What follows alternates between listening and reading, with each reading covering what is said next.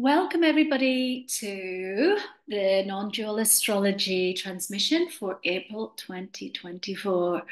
And I just want to wish you all happy eclipse season. I think a lot of people are in a process, and hopefully, uh, this little transmission will help you to land with the energies. I'm just going to let people who may be new to the channel uh, and to these transmissions to just quickly read this little slide while I talk on other things. And we do have uh, a longer transmission about what is non-dual astrology, and I also have an even longer one for people who are keen, because I really feel that non-dual astrology helps us to see very important triangulated nuances that help us to be one step ahead if we want to talk about Tantra, this weaving of things, by working in a non-dual way, we, we we come to a deeper dance with time. And the more we can learn to dance with time rather than be controlled by time, the more we're going to liberate and to come into a higher expression of ourselves and to also bring about a higher iteration of the reality in the plane that we inhabit. So, just a little heads up on some things that we have uh, coming. Uh, I have some space for 2024 readings or full non-dual readings. Uh, you can check our website and yeah, just just somebody asked the other day, and I do do 2024 readings if you just want one for this year, or if you want one for how the eclipses are maybe going to work for you, both both eclipses this year, both sets of eclipses. Um, and also, what I'm very excited to be telling you about is that uh, my book, Shambhala Warriors Keys to a Golden Age, is launching in, in around the 8th of May. And it's going to be available for pre order very soon on Amazon. And yeah, I mean, I don't want to take up too much time talking about this. You'll probably find the odd little webinar and transmission on my YouTube channel. So please do like and subscribe because, yeah, I, I, I feel this book has a lot of keys for people who may be struggling to make the, the, the, the connections between certain branches of thought or practicalities in the earth that we are in. And I think a lot of people have despair because they think, oh my goodness, we, you know, we're facing all these awful ecological disasters or all these different things. And actually, from the years of working with many indigenous tribes and with Dharma keepers and doing a lot of study, I really do feel that we have some beautiful, beautiful openings that also correlate with what some key astrologers are saying, and, and indeed what people are saying about this eclipse, which is why I'm talking about it, that really we may be further along than we think if we choose to be resilient and focused and dedicated. And that's why the book is there to help people to to land with a deeper synthesis because I think a lot of people feel fragmented and don't quite know what to do. And I really do hope that this book serves many people to help them to really step into this role of being a Shambhala warrior, which is one of the reasons why so many of us have incarnated at this time. Alongside that, I'm going to be offering new coaching opportunities for visionaries, change makers, um, spiritual entrepreneurs people who really need to actually come into true natural law to work with the ego, to work with the timelines, and to work with some of these visionary teachings so that they can bring their offerings to a next level if we want to create an earth shift. Our team also have a lot of trauma informed work, quantum art therapy, uh, mini readings, lots of different offerings. So please do get in touch, like and subscribe. And uh, very soon you're going to find a lot more offerings from us. So in terms of the general astrology, we have Mercury retrograding from the beginning of the month, right in the middle of eclipse season, of course.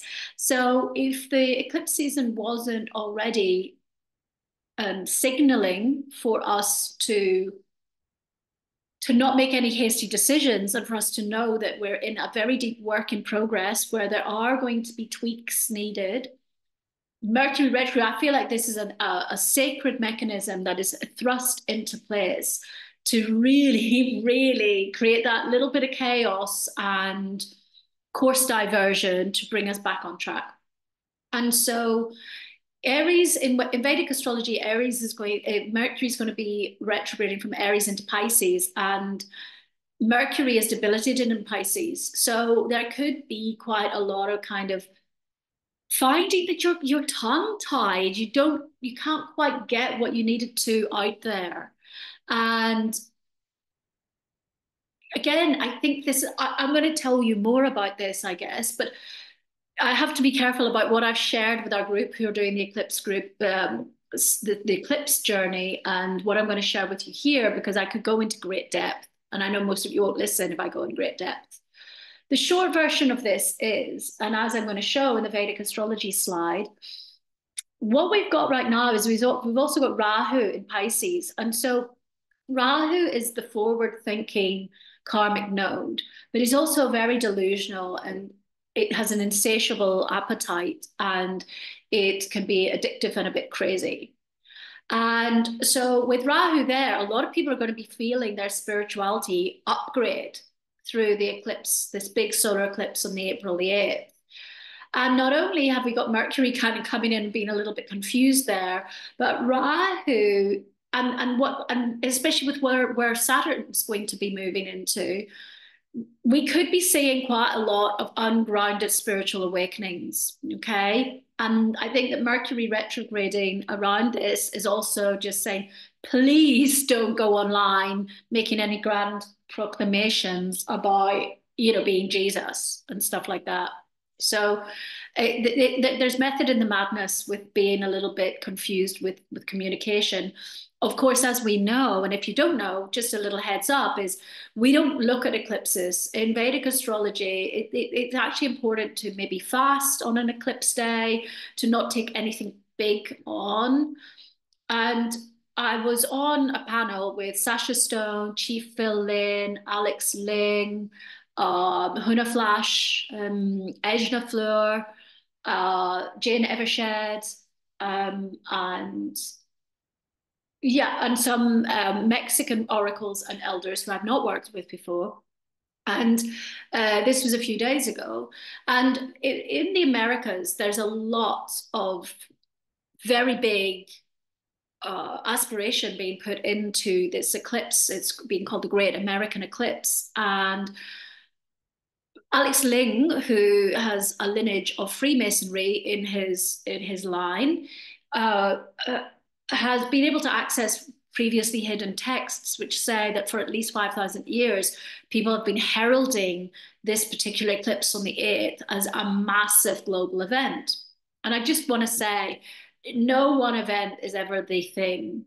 I, there are always these events, okay, and um, we have to also be careful. With the Americas holds very important keys, and I personally uh, feel that strongly. This is why I spend a lot of time in Mexico and why I've been very involved in the Eagle Condor work since 2012, which is now being really deeply inaugurated by the tribal elders across the Americas who recently converged in Palenque to, to really authorize the the, the, the, harmonization of the Americas, which is is prophesized, which is really a tantra, of bringing the masculine and the feminine together. The eagle represents the masculine in the north of the Americas, and the condor represents the, the south and the feminine. So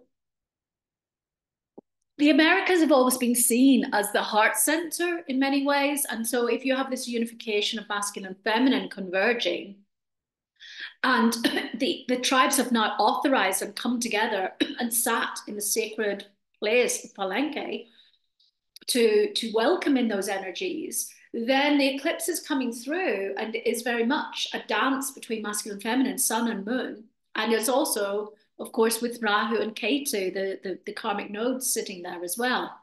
And the main energy in this eclipse in Vedic astrology is sitting over in Pisces. So we've got this huge Piscean spiritual energy, and Pisces is, of course, the last sign of the zodiac. So we have a very strong transcendental energy that's been activated on the eclipse but as you'll see later, we also have uh, cautionary notes in there. And I definitely feel that there's something big afoot. Um, I got guided very strongly to make a, an eclipse journey, and we have a beautiful group of people on it.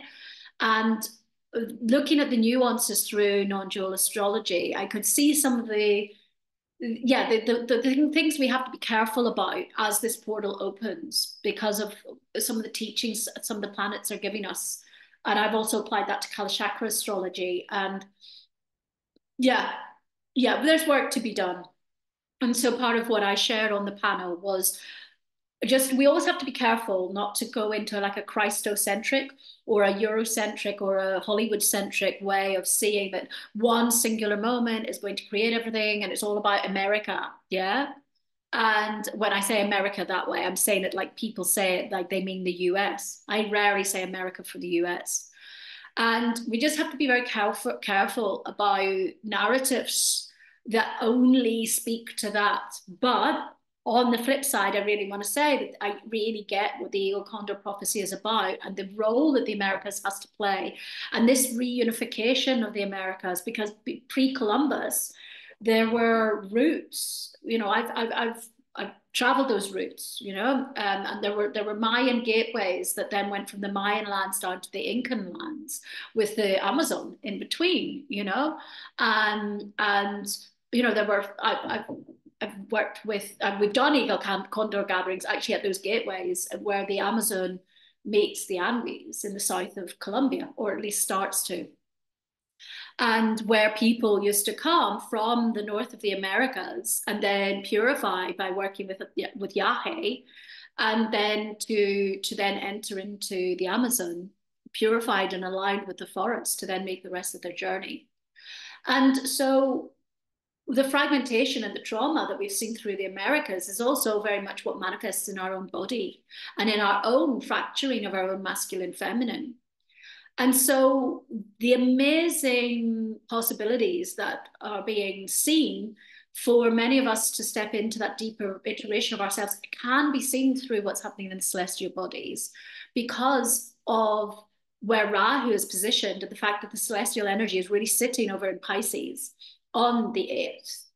But yeah, as, as you'll hear me say, I'm coming in being like stringent granny just to warn you because again this is the thing we can sometimes destabilize we we have to understand it, it does it's not like somebody comes with a big magic wand and all our karma goes away on the set the 8th of april or that the cash points all explode on the 8th and we don't have any more money or any more suffering or any more institutions and these things are markers. And of course, it's a wonderful day for us to really spend in meditation with each other. Um, and actually, maybe I'll speak a little bit if I remember on the actual energy of the day in the other systems. Uh, so I didn't do that in my slides, but I actually I'm just realizing some people have asked me for this. So in another form. So what I'm going to tell you is that first thing I'm going to tell you is that the nakshatra of the day on the 8th of the of April is is Ashwini. And Ashwini is the first sign of the zodiac uh, so the so the moon the moon moves from Revati, which is like the, the, the end of the transcendental journey, and then goes into Ashwini. So it's it's sitting between both. So that's like a marker that we've we're going into a whole new cycle, okay, where the moon is at. So that happens over the cusp day, the cusp of the eclipse day. So that's a very powerful marker in itself of a transcendental journey actually i'm just going to say a little bit more now. On the in the dream spell calendar we begin the dog wave spell on that day. And the dog is really about love and loyalty. It's also the dog because the dog works with heart energy it's about this importance of us as of com- coming out of the ego and it just being about ourselves and coming into true heart resonance. And when people do work on the noosphere the planetary So, so the noosphere is the part of the planetary field, the bioenergy field of the planet that connects in with our consciousness. You know, there are different fields. And there's there are the bits where we, you know, when we talk about things like the Schumann resonance and different things, where our consciousness connects with the planetary consciousness. And interestingly, on the eclipse day, it is dog wave spell begins, and dog is the easiest access point for the noosphere. Okay, so we really do have this ut uttering through the celestial bodies that there is a really great possibility to do this kind of devotional quantum work on the eclipse day, which is what people like Sasha Stone and Alex Ling were talking about in the panel. And this whole galvanizing of a lot of aspirational energy for the new spiritual liberated human to to evolve and also the finding of our soul tribe because dogs very much about that and a lot of people are now coming in to to to really feeling where their core community, their guilds are. A lot of people are saying, "Oh, I'm going to go. I'm really going to go move to Costa Rica," and other peoples are saying, "Yeah, I've just really found it's my time to get my land with my people." And dog wave spells very much about finding the real, the, your real, your real soul tribe. So that's happening. And then on that day as well, in the um, traditional Cholq'ij uh, calendar, the sacred calendar of the Mayans, we are in nine Kameh, and Kameh is life, death, rebirth. And nine is about honoring and transformation through the feminine principle. And when we were on the panel uh, the other night, there was a lot of discussion about really moving beyond the outmoded vestiges of the patriarchy and the rising of the feminine. And the tribal leaders were saying, you know, it is totally acknowledged by all of us that it's the, the time for the feminine to rise. And what I want to say to that, that doesn't mean the feminine to rise and the masculine to fall, but it's this beautiful upgrading of us coming into this tantric union within our own energy body, but also uh, in a harmonization, and that is seen then through the reunification of the Americas, the heartland. So interestingly, you've got this heartland reunifying north and south, and then we come into the love, the love wave spell. So you know we do have a lot of signs that something's really afoot in a really powerful way, right? And the energy just keeps giving. And, and, something I'll say is also we have uh, both sun and moon are going to be exalted, you know, from late on the 8th of May to the to early on the 10th of May, depending on where you live. Um, so this is this like the majesty of tantra of masculine and feminine meeting is actually almost arising through the eclipse, but it cannot become embodied until it does its work.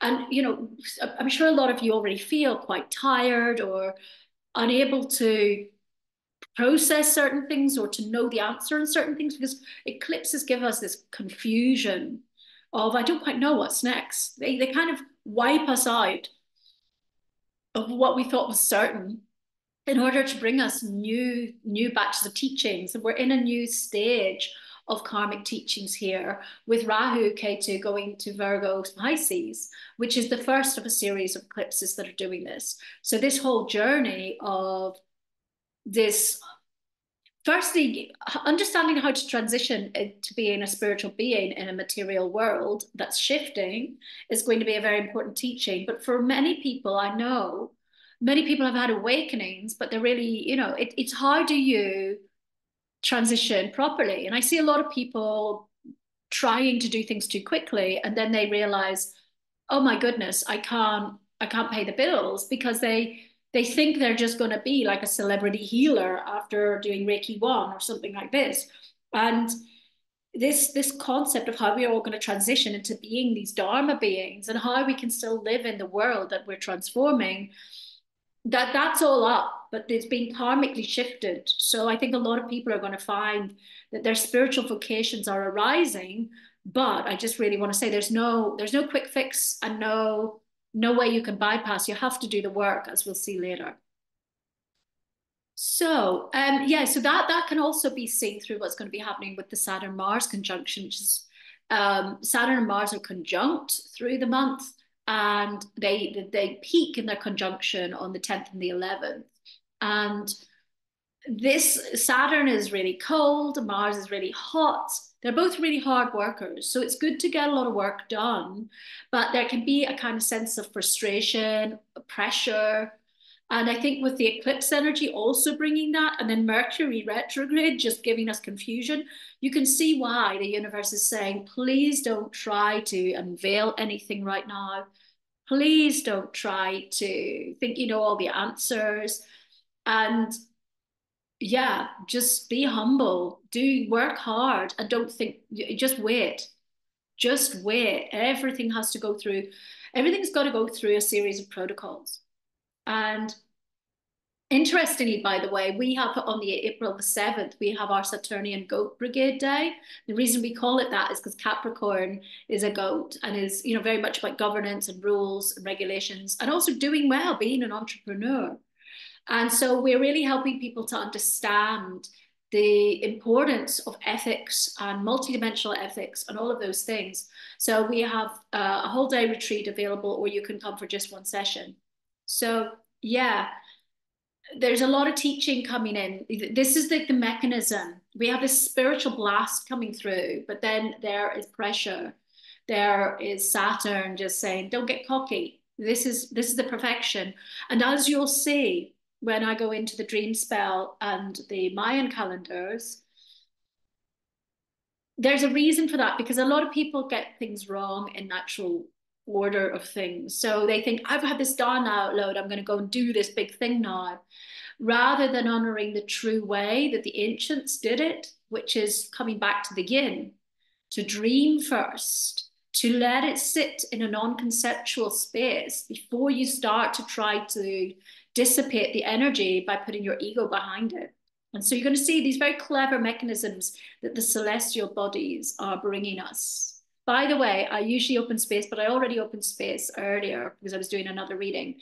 So I just want to just give my gratitude to celestial bodies and the rishis, but uh, they already know that. But thank you again. We also have the Jupiter Uranus conjunction, which I'm not going to go into in great depth because you can find plenty about that um, on the internet because I don't usually work with the outer planets too much. But again, there's a massive transformative expansion energy coming later in the month. But, but this is the thing it's like where we come out of the eclipse and then it's like things start to, the new possibilities start to activate. Okay. And this is this is at the tail end for what in Vedic astrology, Jupiter and Aries, and then Jupiter is going to be moving into Taurus in in May. So uh, yeah, so there's going to be you know that's a, in terms of the key conjunction astrologically this year. Uh, this this would be one to watch, and especially because it's hot on the heels of the eclipse. Not so big, but worth knowing is Venus is combust, so Venus is very close to the sun. So Venus's energy, it, it, Venus gets illuminated in a way, but it also gets burnt. Okay. So on to the dream spells, dream spell calendar and the wave spells that we've got. We are now in the earth wave spell, which is is great. It's it, it's a real pathfinder energy, earth. It's also very much connected to the earth cycles. And isn't it interesting, you know, that we're in that, it's, it's about us really learning to synchronize our efforts. It's a really good time to give offerings to the earth, to, rem to remind yourself you are of this earth, and to give, uh, pay homage and, and, and, and give respect and reciprocity back to the mother. Because this will help you rather than, if you, if you do that, that will help you to feel more connected in a grounded way on the 8th because when people are not giving their offerings and not honoring the earth, especially because we're going to have this noospheric activation, then people may this this is another reason why people may just fly off but they become you know we, we have a real possibility for a lot of people to have very ungrounded spirituality at this time so yeah, so it's it's nice that we're being able to ground in the energies of the first eclipse, and, and then that's interesting as well. Because the first eclipse, the lunar eclipse that we had on the 25th of March, was it's it's like it was kind of it, it's the less cap less of the catalysts of the two eclipses that we have. And so many people will have closed down certain relationships or projects. And then this one on the 8th is really going to like pack a punch in terms of it's not going to feel complete. We, we, we it, it's a precursor to then another batch of eclipses in, in, in October. And we need, it's, we won't get the full download. Okay. We're just stating it but at least we're grounding the first batch. And then there's the sense of anticipation that's building, and also this pressure that's coming on from the planets. And then this confusion from Mercury retrograde, all with the function of making us not cling to any particular identity or sense of persona or sense of what we are yet, okay, which is wonderful. I've talked about the dog wave spell. So I'm not going to go into that too much. And then what's beautiful, this is this whole cosmic mechanism that I see here, is that we then come into the night wave spell. And the night is very much about the dream time, the dreaming. We dream everything into being. You don't act, you don't do things into being. That's the wrong way around. That's the patriarchal way, which breaks things. We always dream. We go into a liminal, receptive, collective consciousness. And from there, we we we we co-create together without any concepts but we with our aspirations for something better we this is the most powerful programming place that, that we have in the human body as we understand it in 3d this is not 3d behavior but it helps us to manifest in 3d form okay? And so this is this is where a lot of people you see people do eclipse. I got a download. I'm going to put something on youtube in two days after the eclipse. And this is where we could have this ungrounded stuff coming through because actually we need to go into the liminal phase. We need to go into the dreaming. It's absolutely amazing. We're being asked to th- this is a reclamation. If we talk about this unification of the masculine and feminine it is the reclamation of the grandmother's codes to bring back the receptive dreamer in all of us. And so this is part of the actual integration of the eclipse is then go into your dreaming pods. Okay, so it's beautiful energy. In the sacred calendar, so we're currently in Tijax energy. Well, we, we're not just hit it, but we will be. And Tijax, this again, look at this, the beginning of the healing so, right on eclipse day, we're in that.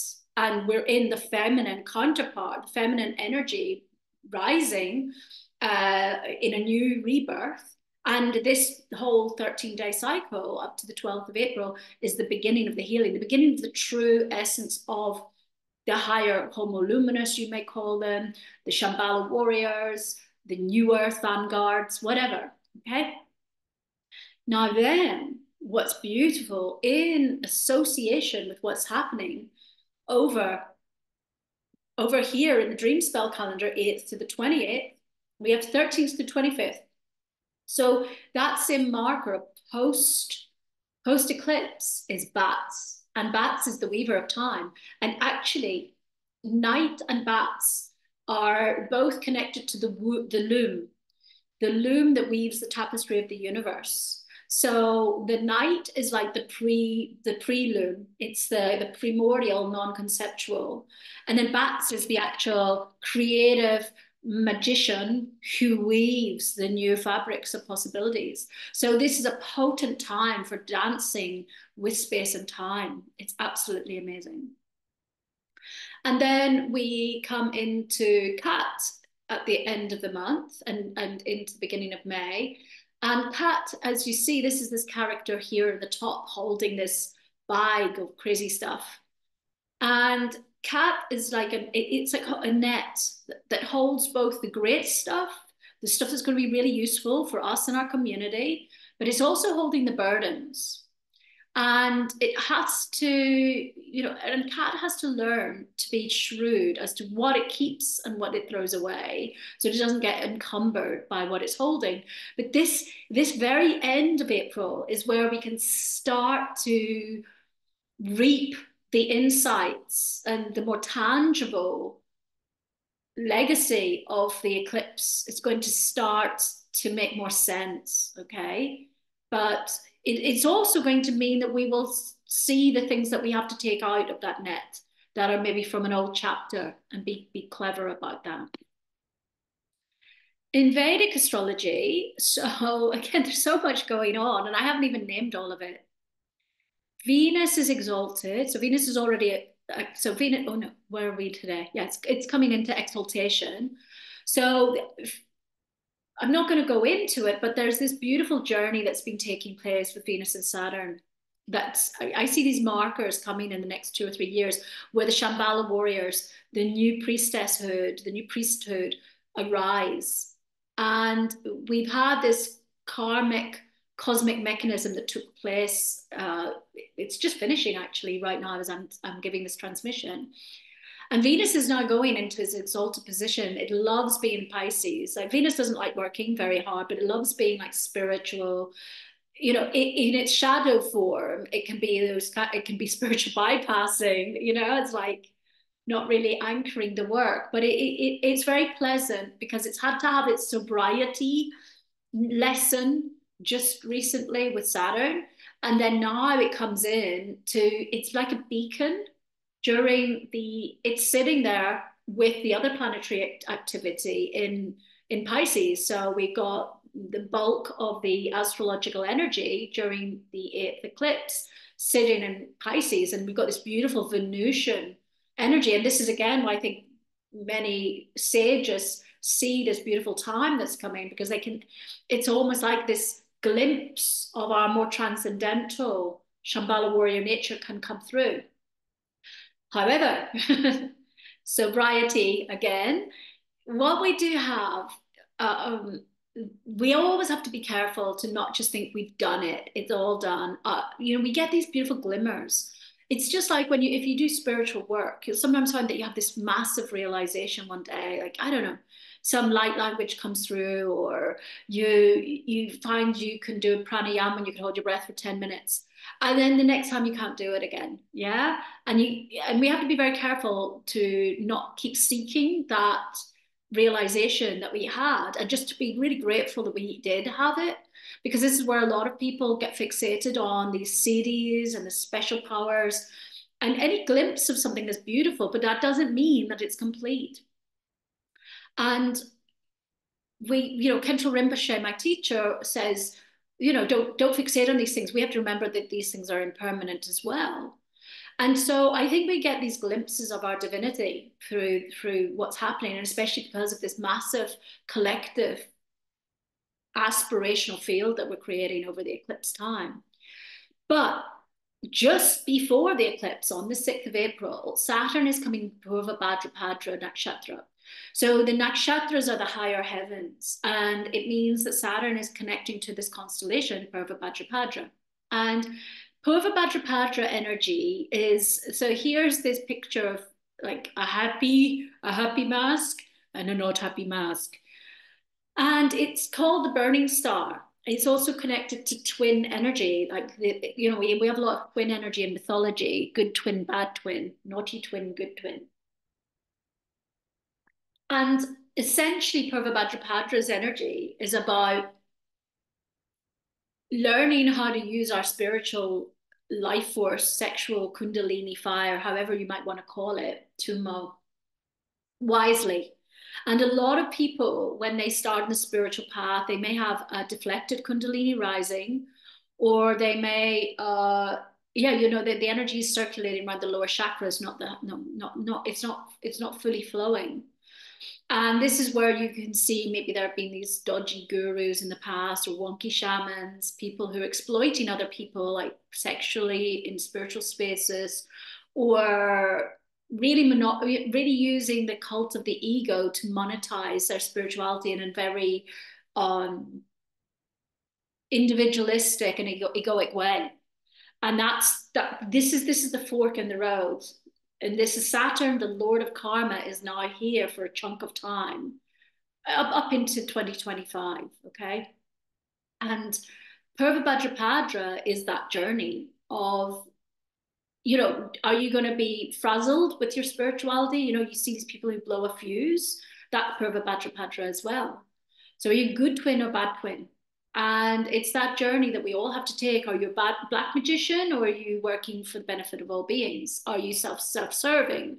All of those. And it's that journey with the ego and with our karma that, that we have to take. And so there's a challenge here. The Lord of Karma, the Lord of Time is sitting there right as we go into that eclipse. And then we've got Rahu sitting in Pisces, meaning people could be frazzling spiritually as well. So they, we have to be very, very careful that we don't get too much over the top messianic stuff coming through, because this is a very big batch of our collective karmic journey in the next year. Is Saturn's gonna make some stuff? It's gonna it's gonna bring stuff up for clarity. It's beautiful. The more people who know about this, you can be like, is this my ego? And what do I do? How can I ground my journey? How can I be more ethical? Because yeah you, they could get kind of crazy out there i'm just warning you. Because then if you know you can see there's this good twin or naughty twin coming out? So i know there's already quite a lot of this in many circles that perplexes people. And just what i would say is it could almost be like the purge of that and it could get a little bit murky. It's been it's been leading up to this astrologically. There have been little little moments in the last year or so when I've been making these transmissions, where there are little moments where this kind of comes on. And now Saturn's going to be there, really giving us teachings on that. So if you want to really devote, if you feel you're really on a spiritual path, you're going to keep, keep needing to work with your ego, be humble, make it not about you. Okay. Because, yeah, it's going to be challenging. And you may see a lot of stuff that isn't actually authentic and it could be quite confusing, right? So this is very much how as well, this, as I say, this Rahu could mean people are delusional around spirituality. So, and, and, and we're going to have more, we're going to have a revisitation of that in the eclipses later in the year. It's very, very interesting because poor, uh, Saturn was not in Purva Bhadrapada on the, the eclipse on the 25th. Now it comes into Purva Bhadra, and it's just literally jumped in there. And then it's really sitting more deeply with that later in the year. We have the sun beautifully exalted in Aries from the 13th of April. So for a lot of people, you know, in Vedic astrology, this would be marking the beginning of the year. And we did have this forward motion that was very strong that made a kind of feeling of beginning of the year in the false beginning of the year year which was january which is not doesn't always happen. January we had this kickoff energy this lift off energy and then we've now got the eclipse coming to you know throw a bit of a spanner in the works. But for some people the the real year is actually going to be beginning in april once you know just after the the, the eclipse okay and I mentioned earlier, we've got Sun and Mars together, so they're conjuncting around the 10th or the 11th. But yeah, there's this kind of pressure valve of the, you know, these different energies. At least it's good for working, but it could be very stressy. There could be frustration. You could feel this rising pressure with things. So, synthesis. So after the eclipse, deep, oh, I, it did that by itself. Okay, after the eclipse, deep work can take place in the noosphere and the dream time, and this will help to bring about higher possibilities. This is a really good time to be a quantum architect and to work, as I say, with the yin receptive dreaming states and to, to, to use, you know, this is the energy of the sacral when it's used appropriately. And, and, and everybody has a sacral area. So, you know, we could say it's the womb, but it's the womb that's beyond gender. It's a cosmic womb energy. So there's a very, it, it's a very beautiful time, but you know, things won't seem so tangible. If they seem tangible to you, it's probably, it might not be really what you're supposed to be staying with because we really need to give the integration time for this to go the right way round. So it needs to go into spirit, etheric energy fields before it comes down and filters into 3D. You know, that's that's important. You know, we the 3D being is the karma being. The more subtle we go, the more subtle the karma, and the lesser the karma in many ways. So the more you can take it out of out of like trying to overthink it, the better. And as I've said, many people may have abrupt awakenings, and we need to be very, very mindful of spiritual uh, delusion right now, and uh, just you know, you may have people around you who start to like hear voices or have these psychotic episodes, and just you know, be there for people. It could it, people could pop, okay this whole thing with Saturn means that our relationship to power, karma, superficiality, and service, and especially with the dog energy being prominent when we come into the eclipse, this uh, this is all creating another shift, and we have to be prepared to do grounded work and to set the foundations for a true, true gateway. Finally, you know, the, the timelines for a possible golden age, we have almost 10 years. Okay. This is a very important portal, but it doesn't mean everything's happened. But yes, you know, this month is massive. It's an opening portal. It's like a key. And the more of us who utilize those keys, the more we will help to create a new, a new paradigm. And how I see it in many ways is that those who have been doing the work and who have done, you know, are somewhere on their journey, we need to get the pillars and the gatekeepers, the trees of the ecosystem standing strong so that more and more people can come around and then do, create their vital function in the ecosystems. And so it's not like it's all done. It's not like everybody's healed. Everybody's even started to awaken. And I think we would be really erroneous if we would say that that just all completes now. But I do feel that there's a stepping up of the wisdom keepers, which is really typified through what took place in Palenque, that the tribes have converged. Okay, that's so powerful and so needed.